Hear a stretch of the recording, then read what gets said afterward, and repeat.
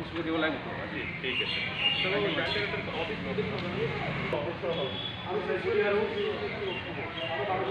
अच्छा ठीक है सर मैं जाऊँगा सर वहाँ वहाँ तक मैं जाऊँगा। मैं पहले डी ऑफ़िस में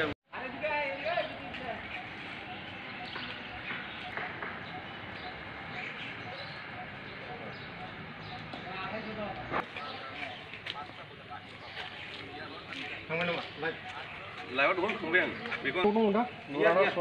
पैरे कोटी स्टोपिस तो वो किन्हों राखू आप उन खाने आप राखू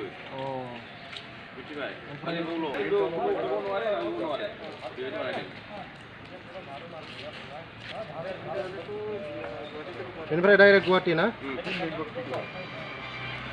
इधर डिब्रूगढ़ गुवाहाटी इन डे मैं डीएल मारी चली जो डीएस ना कि मैंने और ये पासवर्ड आपको एजेंट लोड মানে লাইভটো ইয়াত যাব লাইভ যাব না কিবা লাইভটো যাব না? ইয়াতো দি আছোঁ লাইভ আজি কালি পিছবেলা মই কাৰ্যভাৰ গ্ৰহণ কৰিলোঁ আৰু আজি যিখিনি মই ফিডবেক পাইছোঁ অৱশ্যে কালি আহিয়ে মই দুটামান চেণ্টাৰলৈ মই গ'লোঁ। তাত আমাৰ যিখিনি আমাৰ ধৰক চৰকাৰী আমাৰ হেল্থ বিভাগ স্বাস্থ্য বিভাগৰ যিখিনি নিয়মাৱলী আছে তেখেতসকলে খুব সূক্ষ্মভাৱে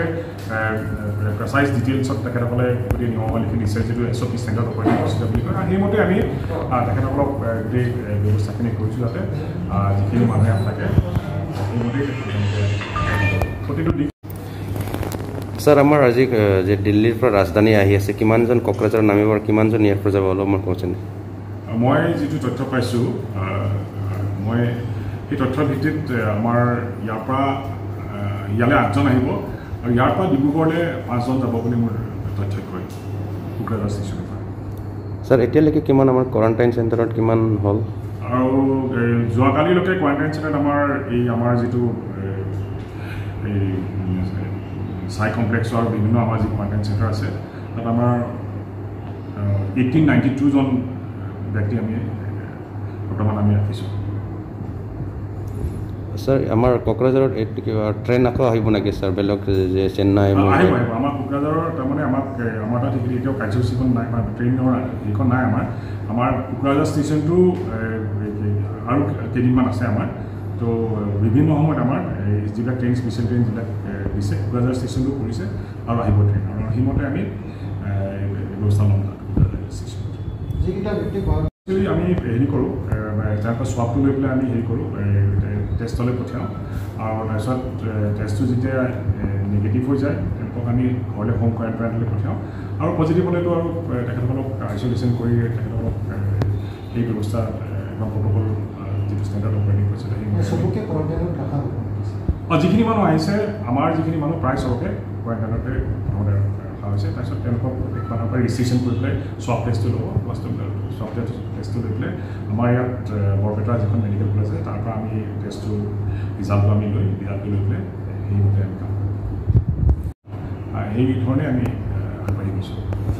ছাৰ আমাৰ কোকৰাঝাৰ বাসিন্দাসকলক কি আহ্বান জনাব? মই কা- কাৰ্যভাৰ গ্ৰহণ কৰি এটাই কথা ক'লোঁ মই আপোনালোককে ধন্যবাদ দিছোঁ আপোনালোকে তেনেকৈ অহাৰ কাৰণে আৰু প্ৰথমে মই এইটোৱেই ক'ম মানে এই বৰ্তমান আমাৰ যিটো পৰিস্থিতি ক'ভিডৰ ক্ষেত্ৰত মই আমাৰ সমূহ কোকৰাঝাৰ জিলাৰ সন্মানীয় ব্যক্তিসকলক মই এটা কথাই জনাম নাগৰিকসকলক এটা কথাই জানে জনাম যে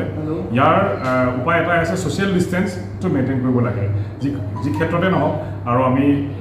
ক'ভিডৰ লগত আমি